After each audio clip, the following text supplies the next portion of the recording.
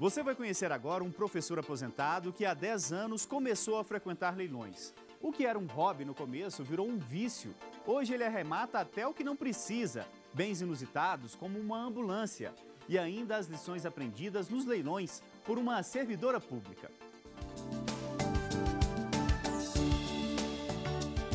Cecília vai participar do segundo leilão da vida dela. Antes, ela visita o depósito e anota tudo sobre os objetos reunidos em lotes. Tem muitas coisas interessantes, né? Os preços também normalmente são muito bons. Venho, alguns itens me, interessaram, mas tudo vai de acordo com os lances, né? Não pretendo dar lances muito mais altos que aqueles valores que já estão pré-estabelecidos, né? Porque, como te falei, são itens usados. Então, estão um preço bom, mas se você for pensar que tem que mandar arrumar depois, não realmente não vale a pena. Fora o frete que você tem uma poltrona, uma banheira, uma coisa que te interessa, você tem que pagar o frete, então tem que ponderar muito essa questão de valores, se realmente vale a pena. O artigo 53 da Lei 8666 de 1993 dispõe sobre a ampla divulgação que deve ser dada aos leilões a divulgação garante que pessoas como Cecília tomem conhecimento dos leilões. Nem sempre a participação em um leilão é uma boa experiência. Em um pregão de uma embaixada, a servidora pública viu os objetos, mas não ficou presa aos detalhes. E esse aí foi o problema. Tinham dois lotes parecidos, eu olhei os dois e na hora do leilão, como você não está vendo o lote, é, o primeiro foi arrematado, o segundo foi o que eu arrematei, só que nenhum dos dois lotes por, por ter visto as cadeiras paradinhas e tal, a gente não reparou que os pés estavam quebrados. Quando eu vim buscar, realmente vi que os pés estavam quebrados. É nada como um mau negócio para fazer com que o interessado em leilões fique mais esperto e se torne até um consultor cheio de dicas. Diz aí, Cecília. Quando você se interessar por um lote, sempre anote o número do lote, quais as condições, porque no dia do leilão é tudo muito corrido. Então, bote uma, uma bolinha, um coraçãozinho, uma estrelinha, faça um código que você entenda que você realmente quer aquilo, porque você se interessa por muitas coisas, mas depois você tem que fazer as contas. Lembrando que tudo é pago à vista, né? E sempre visitar antes o leilão, não, não ficar só por foto, porque as fotos realmente não são fidedignas. Ali no mesmo lugar a gente encontra o aposentado Elias Tomé, um profissional de leilões na verdade, um arrematante impulsivo.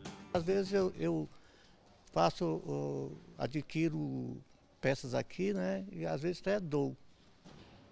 Já é um vício. Não é nem hobby mais, é um vício já. Elias recebe até a ajuda dos amigos que costumam avisar quando aparece um leilão que possa ser do interesse dele. O hábito nasceu da curiosidade de saber como funcionava um leilão. Em 10 anos participou de 40 leilões. Já comprou de tudo, mais um pouco.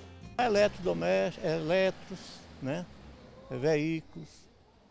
Já arrematei já dois veículos aqui, peças de informática. Nós ficamos curiosos em conhecer um pouco da vida deste cearense viciado em leilões. Ele nos convidou a mostrar o que já comprou dando lances. Arrematou este carro e hoje tem três. Arrematou as duas motos, a maior comprou sem ver. Era da Polícia Rodoviária Federal do Piauí Comprou coisas que até têm utilidade em casa, mas a maior parte nem é usada. Câmeras fotográficas e filmadoras, ele tem 50, virou coleção. Arrematou até balança de precisão em um leilão da polícia. Quando a família descobre que Elias vai a mais um leilão, é um lamento em coro. Já vai no leilão, já vai comprar mais coisas. Ele admite que faz maus negócios. Eu já comprei coisas que não compensou, comprei coisas quebradas que não funciona. Comprei coisas que, que a, a voltagem daqui não, não, é compatível, né? E a gente acaba se dando mal às vezes nesses leilões, que também não especificam que a voltagem é essa, que a voltagem é aquela. E lá vai um conselho de quem entende muito de leilões. O leilão, quem vai iniciar, é, tem que começar com coisa menor, de pouco valor, para você ir se acostumando é, com, com a tensão que o leilão nos causa, né? E para ver e se adaptando né, à, à, situação, que é uma coisa até estressante. Está é, tá competindo com várias pessoas, às vezes centenas de pessoas. Né? Elias nos mostra um desenho, tem a ver com os pregões e com a maior ambição do aposentado em dezembro do ano passado, ele arrematou por cerca de 12 mil reais, em um leilão do Exército, esta ambulância. Sempre tive a, a ambição, a curiosidade de viajar. Por isso que eu tenho carro tão grande. Tem duas Blazer, agora com um, uma ambulância para transformar no motorhome. Para viajar, passar uns seis, oito meses. Fora, vou aqui primeiro, vou para o Nordeste, pegar o sul da Bahia aqui até Ceará, Piauí, Maranhão e volto. E depois a, a minha ambição cresce, vou tentar ir para o Uruguai, Argentina, até Chile.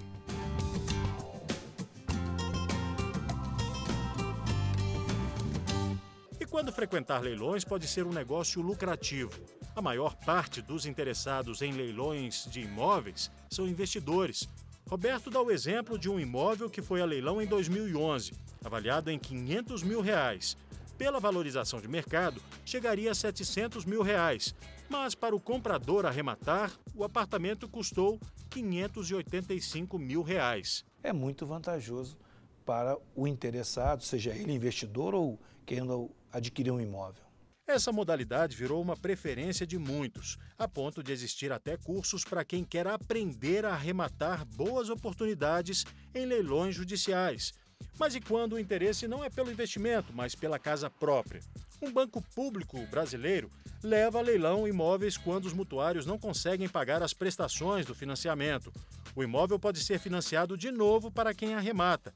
O FGTS não pode ser usado para os 5% do sinal, mas para o pagamento do imóvel depois de se fazer o financiamento. A Caixa disponibiliza, em, na sua grande maioria, a possibilidade é, do arrematante, né? ele paga os 5% de sinal para garantia do negócio e no passo seguinte a gente pode conceder um financiamento nas regras atuais do sistema financeiro imobiliário. Então a pessoa pode financiar, vai depender muito, basicamente, da sua capacidade de pagamento. E se o imóvel não for arrematado no primeiro pregão, o imóvel pode ficar ainda mais barato na segunda asta pública. Ele vai para um segundo leilão em umas condições ainda melhores, porque ele deixa de ser o valor do imóvel, da avaliação do imóvel de 2011, como eu falei naquele caso, para o valor da dívida contraída, porque a Caixa geralmente financia 80%, 90% do imóvel. Então, ele já é corrigido pelo índice do contrato, então chega num preço menor ainda do que aquele da avaliação quando foi feita a operação. É preciso ficar atento para despesas adicionais, até com ações judiciais, caso o imóvel adquirido esteja ocupado. O interessado ele sabe que vai ter que fazer todas as providências por, por, com o ônus dele para desocupar aquele imóvel. No entanto, o imóvel, a garantia que a Caixa oferece é aquele imóvel que a documentação está totalmente em dia, em termos de propriedade, e eventuais encargos com taxas de condomínio e IPTU, ao concretizar a venda, a Caixa quita todas essas, todas essas dívidas e entrega ao mutuário, perdão, ao adquirente, o imóvel em perfeitas condições. E cuidado, este advogado alerta para situações absurdas, mas que ocorrem. Um cliente dele, por exemplo, arrematou esta casa em um leilão. E quando chegou ao endereço, o imóvel tinha sido demolido pelo antigo dono. E aí ele tirou estas fotos do estrago. Todas as vezes que há uma arrematação, o escritório entra com requerimento que o valor fique bloqueado até a emissão de posse. Alguns editais diz o valor da arrematação será 60%. O valor na segunda asta, o valor da arrematação é menor do que o valor da avaliação. E aí está uma armadilha. Porque o interessado, esse eu posso arrematar por 60% do valor, vai lá e arremata. Arremata o imóvel, o dinheiro é depositado, é levantado o dinheiro pelas partes, como eu disse, e ele fica sem o dinheiro. Quando vai lá ser emitido na posse, o morador tem uso capião, o morador tem contrato de gaveta, e ele vai, ele, o arrematante,